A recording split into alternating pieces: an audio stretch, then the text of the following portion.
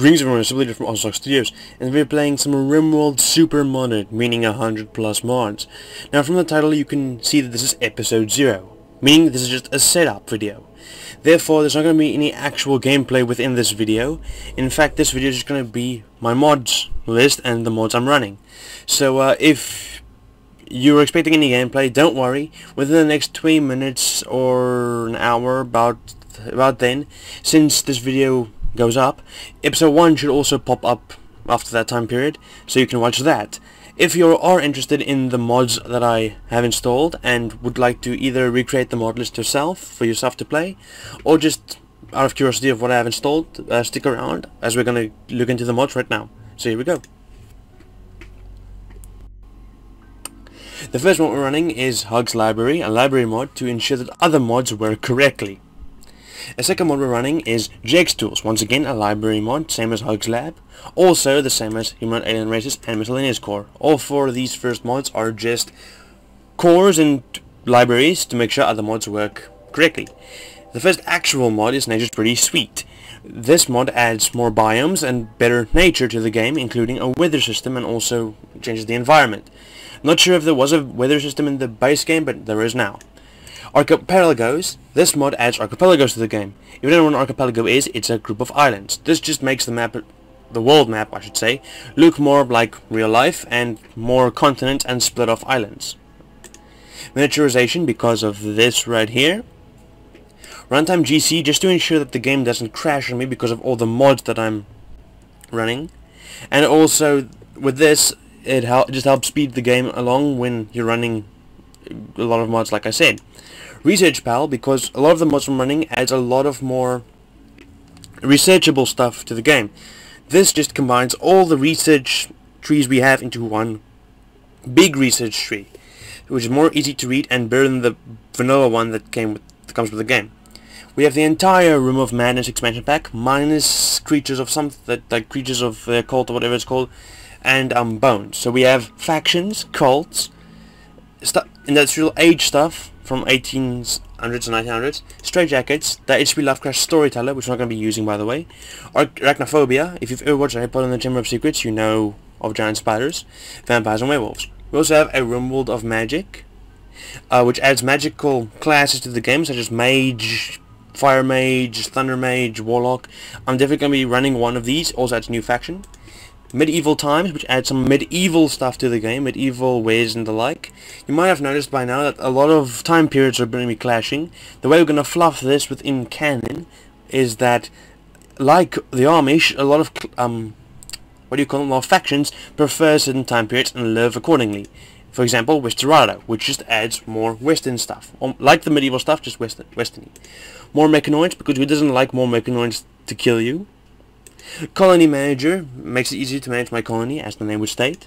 Relationships tab, because uh, this just is just just better than the basic relations tab that comes with the game, and you can more easily track which factions have certain dislikings and likings of you.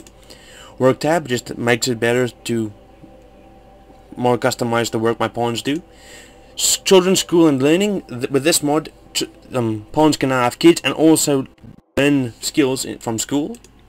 Hospitality allows caravans of people to come visit you better and just makes, yeah, that's basically all it is.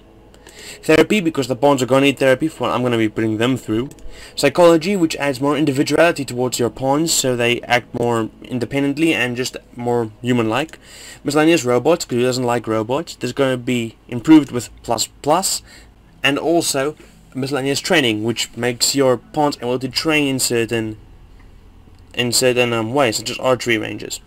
We have the entire Rimsenal pack, which adds end-game armor and weapons. I think it might add a faction, not pretty sure, don't quote me on that. We also have the enhanced vanilla pack, Feral Federation, and security packs added to Rimsenal.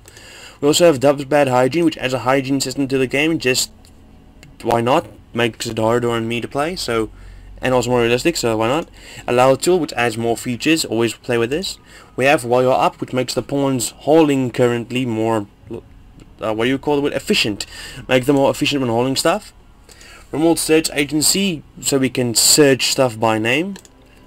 Advanced bridges, I'm aware that basic Rimworld now has bridges since the 1.0 update, but why not add more better bridges? Fishing, because who doesn't want to do some fishing? More trade slots. Originally in the main game, a pawn can only have between 1 and 3 trades. Now with this, I set it so that pawns can have between 2 and 4 trades. The reason I set it to 4 at the ma to put the maximum to 4, because I don't want it to be overpowered.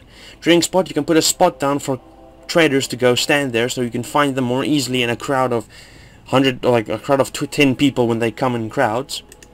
Incident person stat, usually whenever an incident occurs and a person would like to join your colony, you couldn't see what stats they have, so you were going in blind. There wasn't, now you, with this you can see the stats they have. Uh, there was a mod like this which isn't being updated anymore, that's why I'm using this one, and yes, that is a Hellsing Ultimate reference right there. RimFridge, which adds fridges to the game. Vegetable Garden, which adds more of uh, natural ingredients and vegetables to the game. Also have its, some of its add-ons, including canning, gourmet, and drinks. We also have veggies and trees and flowers, which just improves the fauna of the game and works very well with Nature's Pretty Sweet up there. Replace stuff, which allows us to replace certain materials of replace a material with another material without having to break down the original entire room, as you can see by this diagram here. Visible pants, because I like to see the pants my colonists are wearing. Stuffed floors, thank you. Um, yeah, no, you can just bolt more different types of floors. Dye vat, so we can dye our outfits. Tilted swirl, so we can tilt swirl, making it more fertile for when we plant stuff. Furnace, which makes us be able to heat stuff up and set stuff on fire, including people. This is going to be very helpful. You'll see why. Dead man's clothing, because the clothing debuff is stupid. If I can wear dead man's clothing in real life, because that's the thing I would do, why can't they? HUD, sorry, RimHUD. We're not really going to be using this in-game, or we're kind of going to be, you'll see what I mean when we play the game. There's a reason why I'm not going to be using this all the time, but it adds more information to the HUD, so you can just find information more easily. Power switch adds more um, stuff to the conduits and the power switching and um, electricity side of RimWorld.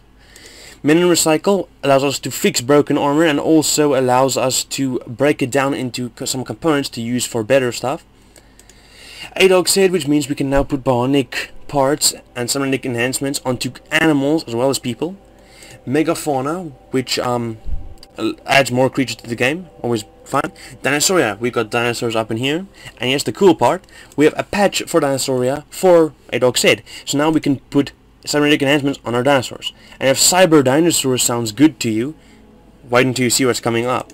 We also have LBE's A Dog Said patcher. Just this pat this just patches other animals that doesn't have compatibility patches, such as Dinosauria. Like Dinosauria has a patch to work with A Dog Said. Now animals that doesn't necessarily have patches will also be compatible thanks to this patcher. We have EPOE, Expanded Prosthetics Organ Engineering. This just adds more organs and prosthetics to the game to put on your guys. But because we have A Dog Said and this has compatibility, we can also add these organs and stuff to animals thanks to A Dog Said. Lastly, into the sciencey stuff is Genetic Rim. With this, we can crossbreed multiple animals into new hybrids. And the cool thing about this is it's also compatible with A Dog Said. So, if you catch my drift, but before that, we also have a Megafauna and Dinosauria patch for Genetic Rim. So now we can mix the dinosaurs from Dinosauria with animals from the base game into a hybrid, and then we can put the organs from and the some enhancements from EPOE onto those hybrids thanks to set. It's going to be an amazing creature we're going to be creating later. Harvest organs post-mortem. Uh, usually you could only harvest organs when people were alive. With this you can also harvest organs from dead people, which you can do in real life, so I don't know why you couldn't do it in the base game, but oh well. Centralized climate control just to help with cooling and heating. Moody so I can more easily keep track of the moods of my colonists up here instead of having to click on them manually.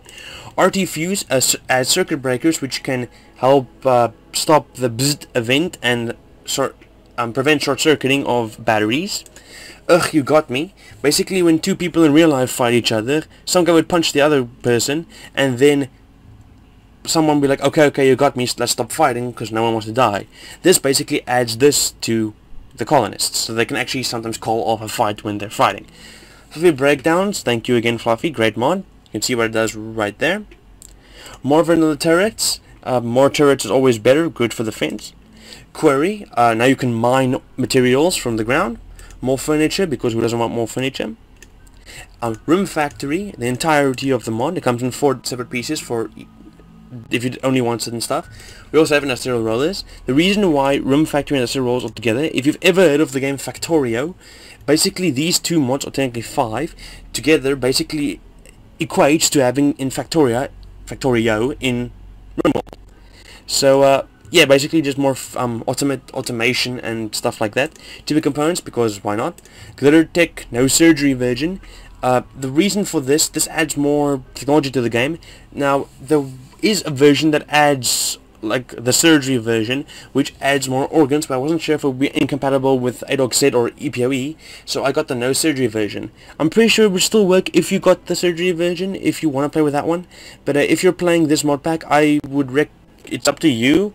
I just personally go with the no surgery version because um, I'm scared it would cause any conflicts. Increased stack, uh, why not? Simple sidearms, now pawns can carry sidearms. Uh, I have set it so that a pawn can only have two weapons at once, one normal, one sidearm, because I don't want it to be overpowered. Run and gun at the cost of a uh, uh, firing accuracy and run speed. A pawn can now run while shooting. Very useful. Quality builder, if I tell a pawn to build something, I can set the quality I want it to be, for example, good. And if they build stuff that's not good, like build the table and it's not good, they will deconstruct it and rebuild it from scratch until they get the right uh, quality that I have specified. Medical tab just makes it easier to look at my health of my colonists. Faction discovery, if we were to add more factions to the game mid-game, we now can, even though I don't think I will, so this is kind of useless, but we're just going to keep it on. Faction control, just because I'm running so many mods that adds new factions, this just help balance it out, and doesn't make them swarm the entire map. Path avoid, because the normal pathing of um, colonists are stupid, so with this they become more smarter. Conduit deconstruction, uh, just to deconstruct conduits. Blueprints, because if you build something and you want to build an exact duplicate of like a building, you don't have to do it manually anymore. You can now just highlight a building, set as a blueprint, and then just bolt that exact thing again, without having to manually bolt it piece by piece. Mod switch, which is what I'm using to test, to switch between mod packs and stuff. You can see it down here. This is what you get for adding mod switch. Animals logic to make animals more animalistic and act more, more uh, act more animal-like. Set up camp. If we're traveling from two points in the map, we can now set up camp in the middle. Just because what this, this is just good. And last but not least, facial stuff, because I like my colonists to look good. So yeah, this is the entire mod pack that we're going to be running. Uh, so far I haven't really seen any conflictions between mods. There might be some, but there wouldn't be anything game-breaking, just some redundancies. And uh, so if you like this uh, mod pack, you can get all these mods on Steam. Obviously mine are not the Steam versions because I'm not running the Steam version of this. So um, you can find all these mods on Steam. Just put them in this exact order. It doesn't have to be this exact order, but I would recommend it as um, some mods have to be in a certain order for them to run perfectly. Uh, if you're better at ordering RimWorld mods into a compatible order, then go for it. But uh, if you just want a template to go off, I'd say go off this one. So this is all the mods we're going to be running uh, for the series. And uh, the episode should come out within the next once again in the next 20 minutes to an hour. So uh, see you guys there. So if you like this video leave a like. And uh, be sure to subscribe so you can keep it to date with the channel and all the videos that's coming out including the RimWorld video coming out once again in about 20 minutes to an hour. So um, yeah. Have a good day. Remember socks are awesome. Bye guys